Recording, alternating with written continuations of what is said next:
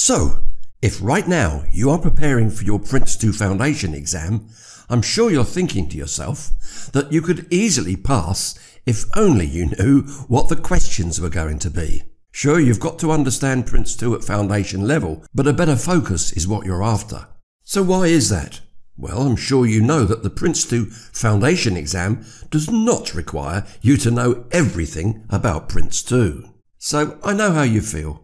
You just need to know which Prince 2 bits that you need to focus on so that you can easily pass your Prince 2 foundation exam. And you're thinking to yourself, if only you knew in advance what questions the examiner could ask me and what he won't ask me. So I'm sure right now you've got the touch of the Prince 2 Foundation exam blues. And the reason being, of course, is the official manual is what's known as a reference compendium. It's certainly not a training aid. Yes, it's got all the information tucked in there somewhere, splattered over 413 text dense pages along with complex diagrams, 83 detailed figures, and 68 incredibly small text tables for you to absorb.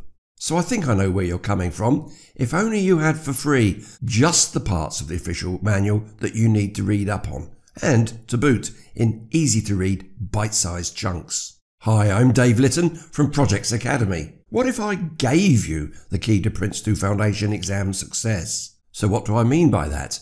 Well, presenting my absolutely free Prince 2 Foundation exam Pass Essentials, all wrapped up in just 24 information packed pages. So all you have to do is to blaze your way to a Prince 2 Foundation exam pass after reading my book. However, I have a small favour first. Down below this video, you'll see the like button, the thumbs up.